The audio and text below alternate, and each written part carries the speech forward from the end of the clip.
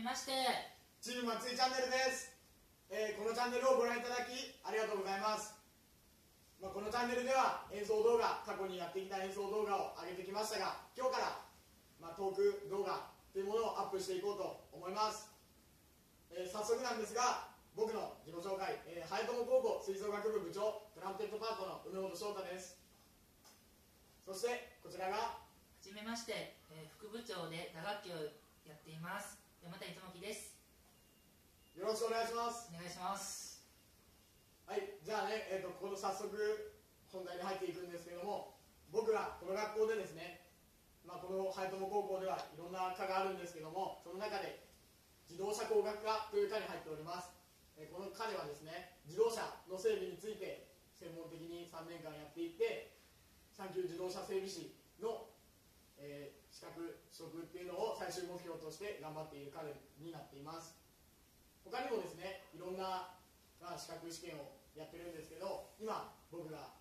挑戦している危険物というものがあって2年生の時にオツ4と、えー、オツ2そしてオツ6のこの3つを取ったのであと残り今回の6月20日にある試験の方で、えー、オツ種1類とオツ種、えー、3類そして5類を受けてですねコンプリートあの昨年の先輩にコンプリートした先輩がいるのでその人に負けないようにコンプリートをしてそ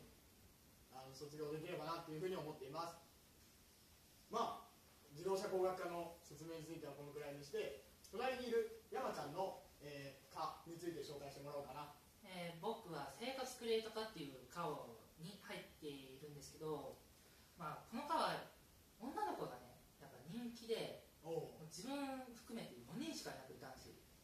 おそうなんですねちなみに僕の科は全員男子、えー女子が一人もいないので花がないクラスになってるんですけどそちらは逆に花しかないと。まあ話しかないですね。そのうち4人しか男子4人しか男子がいません。だからちょっと男子の女子力が上がります。なるほど。逆にね。そう。逆に。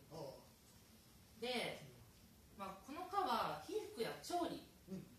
の技術をごめんなさい身に身につけて、まあ、社会にね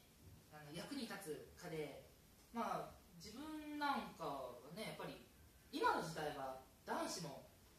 ねおう調理とかもしないけんしボタンとか外れて「お母さんやって」とかそんなねそうね言えないから、僕はそれができないんですけどはいね、やってくださいよ、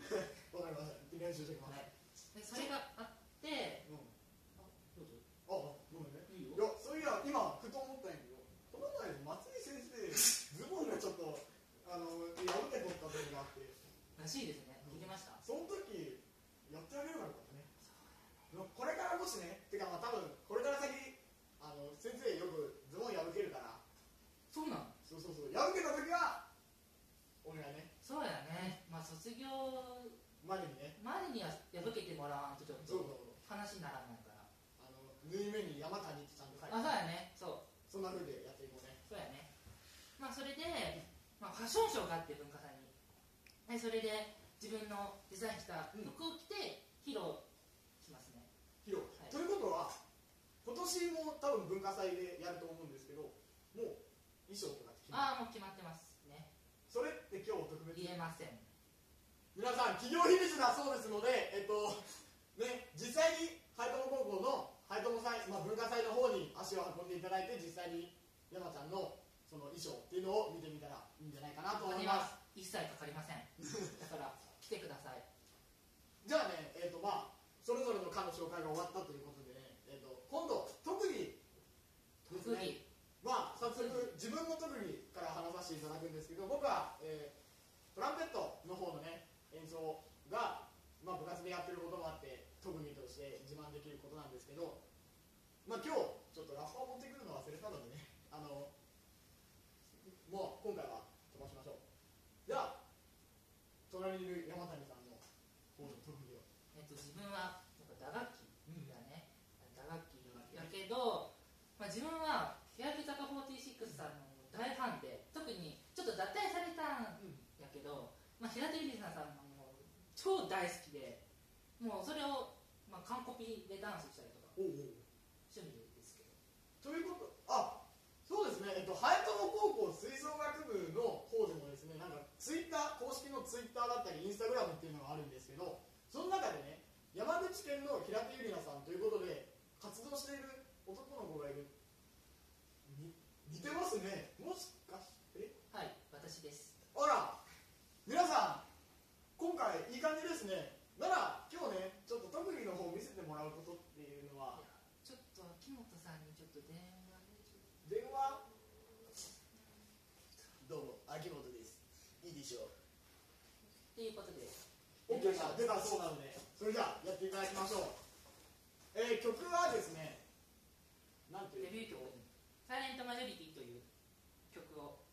最初から最初からあでサビは、まあ、また後ほどインターネットじゃなくてツイッターであツイッターの方の公式のアカウントの方でもそあのサビが上がってるそうなので皆さんぜひチェックの方よろしくお願いします。それではミュージックスタート